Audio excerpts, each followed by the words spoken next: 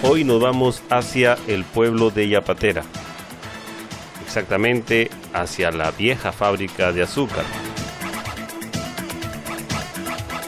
ubicada a unos 3 kilómetros partiendo desde Chulucana.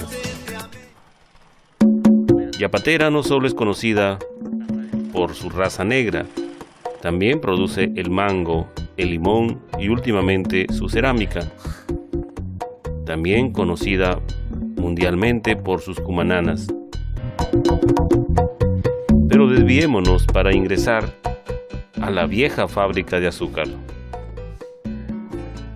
Dos grandes chimeneas que desde lo lejos se pueden apreciar nos guían para llegar al lugar.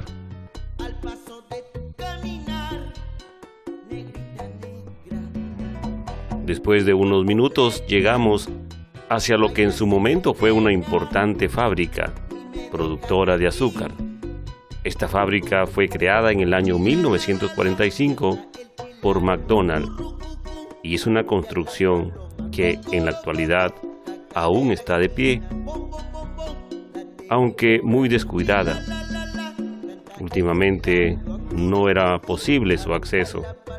Recientemente se ha organizado una campaña de limpieza y hoy ya se puede apreciar en alguna parte. Caminas hacia el río con tu vestido al aire como una bandera con los colores verde, amarillo y negro como nuestros ancestros de tierras lejanas para verte pasar me he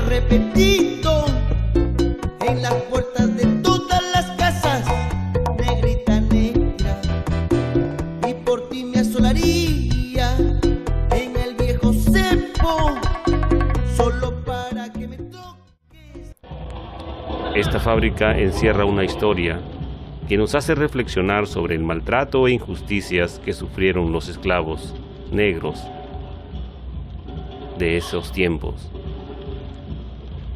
Aquí los esclavos realizaban múltiples trabajos que consistía en cargar la caña a unos coches de fierro. Luego, en uno de los ambientes, lo subían a una plataforma donde grandes molinos trituraban la caña. Y así continuaba el proceso. Otros esclavos recibían y producían el azúcar. Después ésta se colocaba en el llamado enfriadero para posteriormente ser llenadas en bolsas y enviarlas al mercado.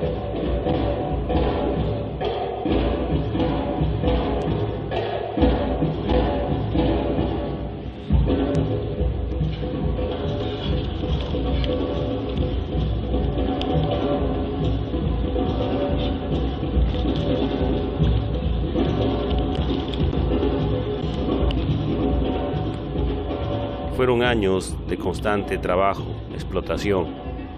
No obstante, este trabajo en la fábrica, que por cierto era muy agotador para todas las personas que ahí laboraban, la existencia de esta es una prueba fiel de trabajo forzado, esclavitud, sufrimiento, dolor, cansancio, castigo y explotación de personas que lamentablemente no fueron tratadas y consideradas dignamente como se merece toda persona.